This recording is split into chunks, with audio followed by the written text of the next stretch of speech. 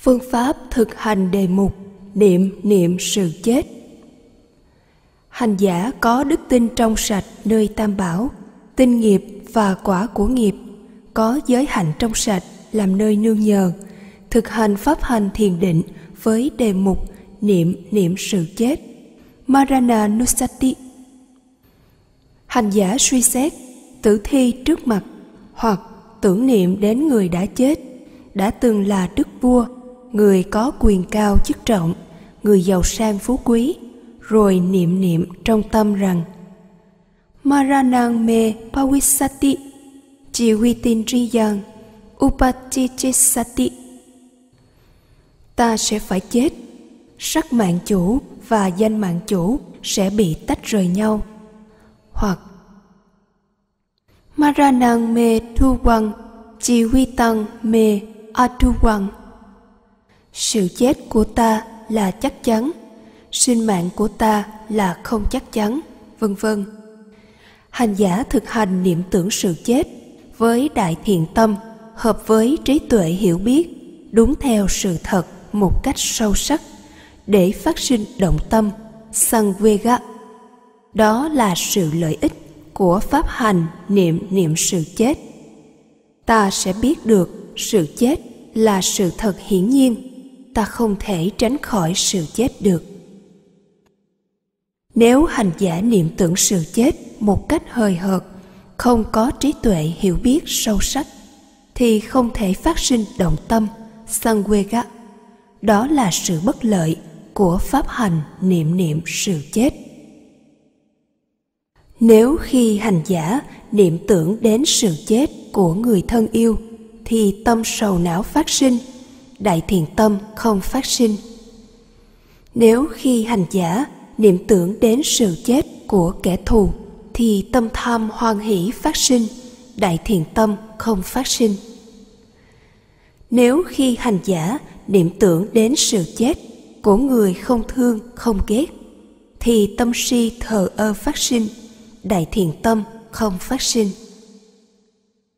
Nếu khi hành giả niệm tưởng đến sự chết sẽ xảy đến với mình, thì tâm sợ hãi phát sinh, đại thiện tâm không phát sinh. Cho nên, hành giả thực hành đề mục niệm niệm sự chết, chỉ niệm tưởng sự chết mà thôi. Không nên liên quan đến sự chết của người nào. Với đại thiền tâm hợp với trí tuệ để phát sinh động tâm sangvega hành giả nên suy xét đúng theo sự thật rằng sự chết là sự thật hiển nhiên đối với tất cả mọi chúng sinh trong ba giới bốn loài, không thể tránh khỏi được, không ngoại trừ một ai cả. Hễ có sinh thì ắt có tử, theo định luật tự nhiên. Sự chết không phải riêng ta, không phải riêng gia đình của ta, mà sự thật, sự chết là chung cho tất cả mọi chúng sinh trong bốn cõi ác giới địa ngục, asura, ngạ quỷ, súc sinh. Mọi người trong cõi người, chư thiên nam hoặc chư thiên nữ trên sáu cõi trời dục giới, chư phạm thiên trên 16 tầng trời sắc giới phạm thiên, chư phạm thiên trên bốn tầng trời vô sắc giới phạm thiên. Đối với các hàng phàm nhân, chưa phải bậc thánh nhân, thì tử rồi sinh kiếp kế tiếp. Từ kiếp này sang kiếp kia, trong vòng tử sinh luân hồi, trong ba giới bốn loài không có hạn định. Thực hành pháp không sợ chết. Mỗi chúng sinh, dù lớn dù nhỏ, đã sinh ra rồi thì ắt có tử. Đó là sự thật hiển nhiên, không thể tránh khỏi được nếu người nào đến lúc lâm chung gần chết, mà phát sinh sân tâm sợ chết, rồi người ấy chết, thì đó là điều bất lợi đối với người ấy. Bởi vì sau khi người ấy chết, ác nghiệp có cơ hội cho quả tái sinh kiếp kế tiếp trong cõi ác giới, địa ngục, asura, ngạ quỷ, súc sinh. Chịu quả khổ cho đến khi mãn quả của ác nghiệp ấy mới mong thoát ra khỏi cõi ác giới ấy.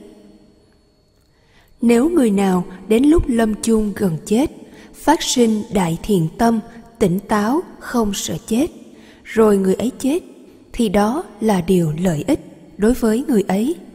Bởi vì sau khi người ấy chết, đại thiện nghiệp có cơ hội cho quả tái sinh kiếp kế tiếp trong cõi thiện dục giới, cõi người hoặc cõi trời dục giới hưởng an lạc cho đến khi mãn quả của đại thiện nghiệp ấy mới chuyển kiếp sang cõi giới khác. Do nguyên nhân nào khiến cho người đến lúc lâm chung gần chết, phát sinh sân tâm sợ chết? Người nào không biết hổ thẹn tội lỗi, không biết ghê sợ tội lỗi, không biết tự trọng, phạm điều giới nào, tạo ác nghiệp phạm điều giới ấy. Đức phật dạy năm quả xấu, quả khổ của người phạm điều giới. Người ác không có giới là một, người phạm điều giới, người không có giới, làm tiêu hao của cải, tài sản lớn lao, do nhân dễ vui. Hai, người phạm điều giới, người không có giới, có tiếng xấu lan truyền khắp mọi nơi. Ba người phạm điều giới, người không có giới, có bất thiện tâm e ngại, sợ sệt, vân vân. Bốn, người phạm điều giới, người không có giới, có ác tâm mê muội lúc lâm chung. Năm, người phạm điều giới, người không có giới sau khi chết. Ác nghiệp cho quả tái sinh kiếp sau trong cõi ác giới. Địa ngục, asura ngạ quỷ, súc sinh, chịu quả khổ trong cõi ác giới ấy. Do nguyên nhân phạm điều giới, tạo ác nghiệp, khiến cho người ác lúc lâm chung gần chết, phát sinh sơn tâm, sợ chết. Do nguyên nhân nào khiến cho người lúc lâm chung gần chết, phát sinh đại thiện tâm không sợ chết? Người nào biết hổ thẹn tội lỗi, biết ghê sợ tội lỗi, biết tự trọng, biết giữ gìn các điều giới được trong sạch, trọn vẹn, tạo đại thiện nghiệp giữ giới. Đức phật dạy, năm quả báu an lạc của người giữ gìn giới trong sạch, người thiện có giới là một, người giữ gìn giới trong sạch, người có giới có nhiều của cải tài sản lớn lao do nhân không dễ vui. Hai, người giữ gìn giới trong sạch. Người có giới, có danh thơm, tiếng tốt, được lan truyền khắp mọi nơi. Ba, người giữ gìn giới trong sạch. Người có giới, có đại thiền tâm, dũng cảm, không rụt rè, sợ sệt. Bốn, người giữ gìn giới trong sạch người có giới, có đại thiền tâm, tỉnh táo lúc lâm chung. Năm, người giữ gìn giới trong sạch, người có giới sau khi chết. Đại thiện nghiệp giữ giới cho quả tái sinh kiếp sau trong cõi thiện dục giới, là cõi người hoặc cõi trời dục giới. Do nguyên nhân giữ gìn các điều giới trong sạch trọn vẹn, tạo đại thiện nghiệp giữ giới khiến cho người thiện lúc lâm chung gần chết, phát sinh đại thiện tâm, không sợ chết. Cận tử nghiệp, hỗ trợ cho quả tái sinh kiếp sau. Trong lúc lâm chung gần chết, tuy người cận sự nam hoặc cận sự nữ có đức tin trong sạch nơi tam bảo, đức phật bảo, đức pháp bảo, đức tăng bảo, có giới trong sạch nhưng có tâm không vững vàng. Nếu người ấy gặp đối tượng xấu như gặp nỗi đau đớn, gặp đối tượng không hài lòng, vân vân, khiến người ấy phát sinh sơn tâm bực mình, làm cho tâm ô nhiễm trong lúc lâm chung. Nếu người ấy chết khi ấy, thì ác nghiệp này có cơ hội hỗ trợ ác nghiệp khác cho quả tái sinh kiếp kế tiếp trong cõi ác giới. Khi ấy, người thiện trí có trí tuệ sáng suốt bên cạnh, nhận thức thấy trên gương mặt sầu não của người cận sự nam hoặc cận sự nữ ấy như vậy. Nên người thiện trí tìm cách hóa giải đối tượng xấu ấy bằng cách thỉnh ngài trưởng lão đến hướng dẫn, thọ phép quy y tam bảo, thọ trì ngũ giới tụng kinh, thuyết pháp, nhắc nhở niệm ân đức phật, niệm tưởng đến những phước thiện của mình, vân vân.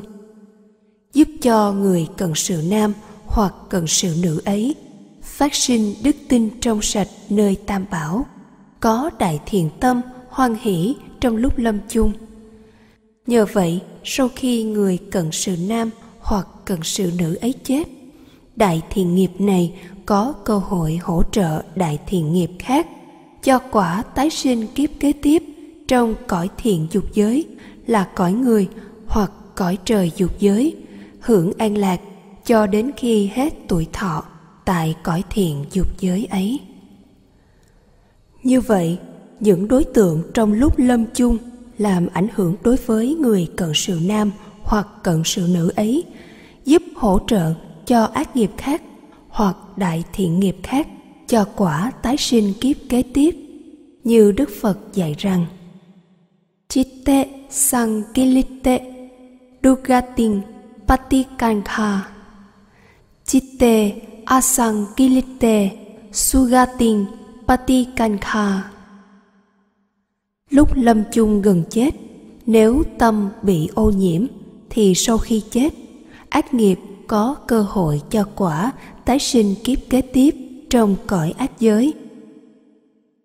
Lúc lâm chung gần chết, nếu tâm không bị ô nhiễm, đại thiện tâm tỉnh táo, thì sau khi chết, đại thiện nghiệp có cơ hội cho quả tái sinh kiếp kế tiếp trong cõi thiện dục giới.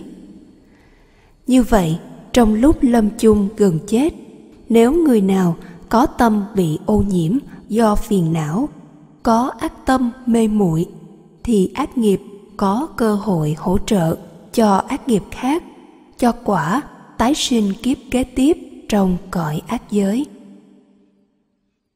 Trong lúc lâm chung gần chết, nếu người nào có tâm không bị ô nhiễm, có đại thiện tâm trong sạch tỉnh táo, thì đại thiện nghiệp có cơ hội hỗ trợ cho đại thiện nghiệp khác cho quả tái sinh kiếp sau trong cõi thiện giới.